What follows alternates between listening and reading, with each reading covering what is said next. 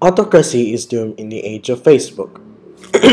but this day of this day of age, social media has already expanded its community uh, in order to get in touch with other people in other countries.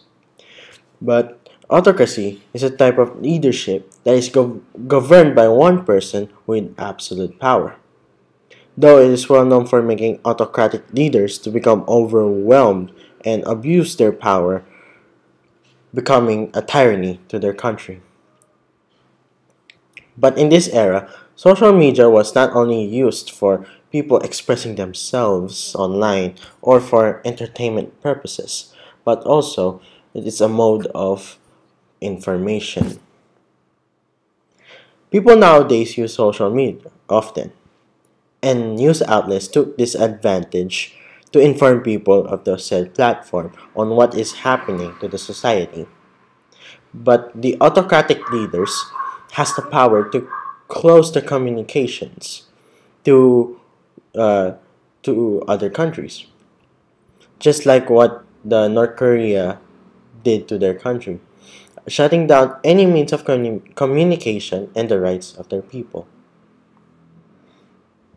The effects of autocracy on the society.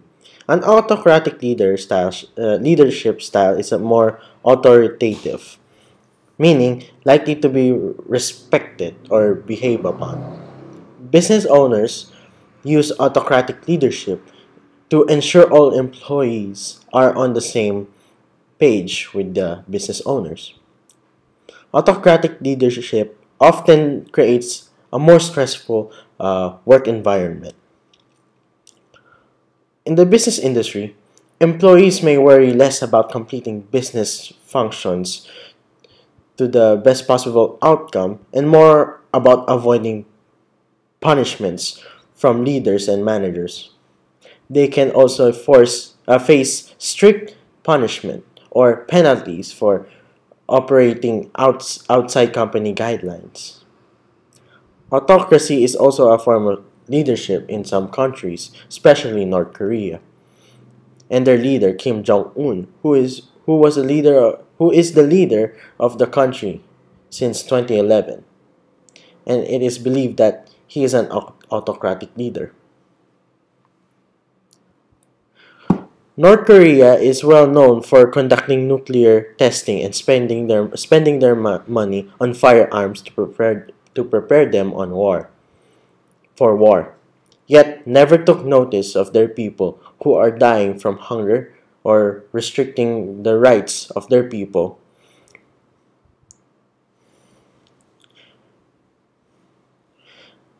Yeon Mi Park is a human rights activist who was born in North Korea. She talks about how freedom is precious for the people who are oppressed from the brutality of North Korean regime. So that so what's the purpose of Facebook? In Chad O'Carroll's article entitled The Mysterious Networking Filling Social Media with Anti-North Korea Graphics, shown that people in the internet took notice of this problem and made anti-North Korea graphics that circled around the networking sites and social media. According to Chad O'Carroll, 2018, a mysterious network of dozens of websites, blogs, and social media accounts have, have since May 2015 been posting hundreds of cartoons, infographics, and political messages criticizing North Korea's human rights re- human rights record and leader Kim Jong Un, and investigating by NK News has, sh- has shown. As, as you may see in these pictures, graphics was made by. So, what do we do? As users of social media, we must be aware of all the things that is occurring occur, occurring in the internet and let everyone know the situation at hand. Though making actions is impossible for us. Uh, but sharing the situation online will let the people know and be knowledgeable about the situation. These people escape the oppression from their own country, and it's important for us to share their experiences and their voice that they speak for the people who are who are still oppressed from the autocratic leaders.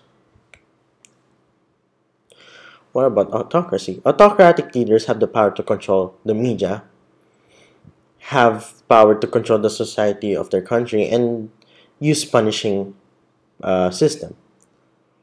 Whereas the democratic system use a judge system, have a rule of law, and the common good, meaning the decision are made for the benefits of everyone. Autocracy is doomed in this day of age because people, not only in social media, but around the world speaks for for their and others' freedom. Thank you.